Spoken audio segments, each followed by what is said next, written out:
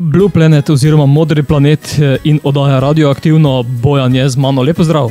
Lepo zdrav in vsem poslušalcem Radio Prlet. Je modri planet še vedno modri ali vse bolj užgan in siv? Modri planet je še vedno modri, kot na začetku. Delamo, smo aktivni, pridni, tako da je vse po starem.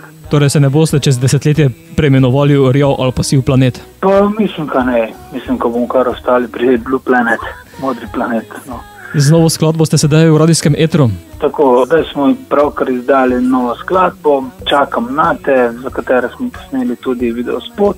Pod avtorjem ja, se je podpisal Aleks Vlasko, ki je prispeval tudi besedilo, glasbo in aranžma. Video spot smo pa posneli vlastne režije. V skladbi je slišati tudi ženski vokal. Tako, ja, zdaj je že kakšno dobro leto mineva, oziroma leto pa pol, ko sodelujemo s našo pevko, ki je nova članica. Tako da smo zdaj šestčlanska zasedba, Katarina se nam je pridružila, kot omenjena pred dobrim letom, s katero smo tudi posneli ta zadnji singel. Kot si dejal, ste skladbo podprli tudi z video obliko, vozilo pa je zelo olde.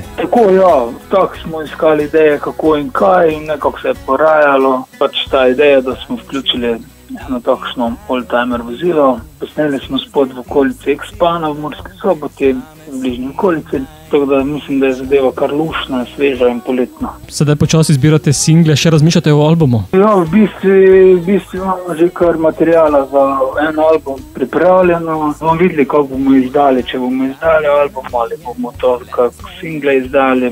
Mislim, da že od prejšnjega albuma je nekje deset skladbic pripravljeno, oziroma že več. Tako da bomo razmišljali, ker letos obeležujemo 20 let in uh, se še dogovarjamo, kako bomo ležili to našo 20-letnico delovanja, ali bo album, ali bo to še naprej singli, ali bo koncert. Še, še razmišljamo.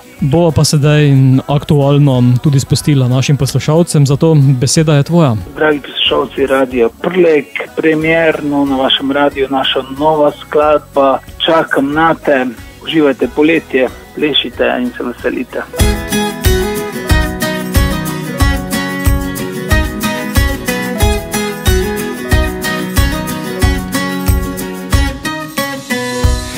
Greva tja, sonce tvojo pot pozna, vsak od viter skozi pismi, plesu naj popelje. Na jug pa, kjer poletje je doma, z roko v roki sva edina na tem celem svetu. S tabo vem, kam sem namenjen, tvoj pogled vedno me utopi, radi da veš. Čakam na te,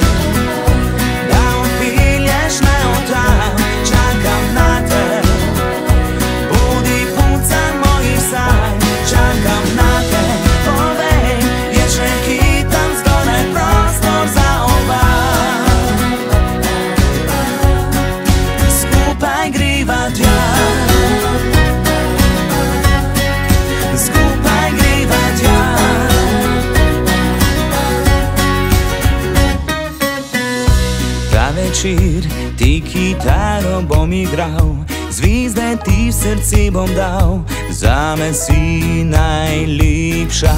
Vedno moj, na milijone norih let, zavrtela sva ta svet v svojem ritmu.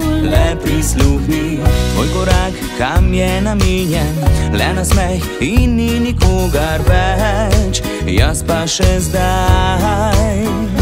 Čakam na te,